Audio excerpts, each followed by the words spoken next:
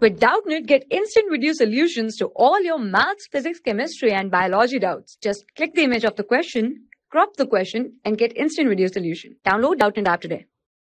In this question, there are three sets given. A is equal to 1, 2, 3. B have elements 3, 4, 5, 6. And C having elements 6, 7, 8, 9.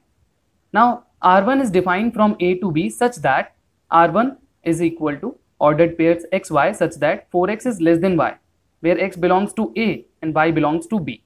Similarly, R2 is defined from B to C. Here it was defined from A to B. B to C such that R2 is equal to xy such that 2x is less than equal to y, where x belonging to B and y belongs to C. Then we need to find the value of R1 of R2 inverse. So now first of all, writing the elements A have 1, 2, 3, B have 3, 4, 5, 6 and C have 6, 7, 8 and 9. Now R1 was defined as from A to B 4x is less than equal to y. So let us uh, write the ordered pairs in R1. First of all, this could be x, x belongs to A. Uh, this could be x, so 4x is less than equal to y. So first pair would be 1 comma. Uh, if 4x is 4, so the next pair would be 5. And similarly, if x is 1, uh, 4 times x is 4 and 6 would be greater than it. So 1 comma 6.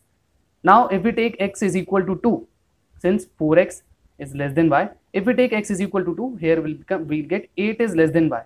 So there is no y in B which is greater than 8. So no other elements are possible. This much is the R1. Similarly, if we write R2, R2 was defined as 2x is less than equal to y from B to C. So for R2, 2x should, should be less than equal to y. So if we take x as 3, then the y would be 6 uh, and 7 because 7 is also greater than 6 and 8 also 9 similarly if we take x is equal to 4 then uh, 2x would be 8 so the pair would be 4 comma 8 and 4 comma 9 now if we take x is equal to 5 then 2x would become 10 so there is no y in c which is greater than 10 or equal to 10 so these are the these are the elements of r2 now let us try to write r2 inverse.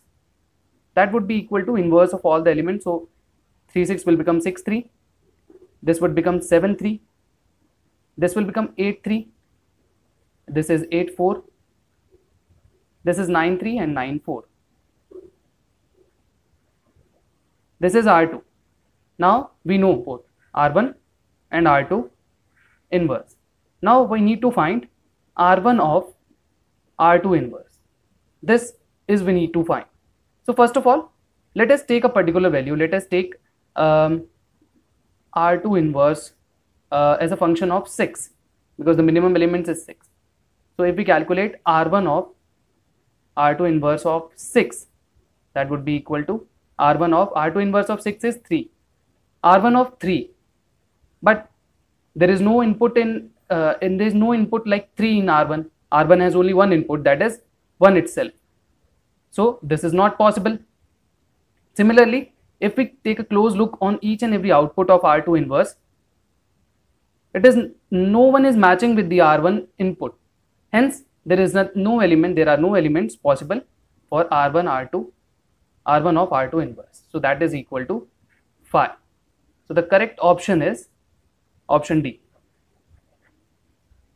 For class 6 to 12, IIT JEE and NEET level. Trusted by more than 5 crore students. Download Doubtnut app today.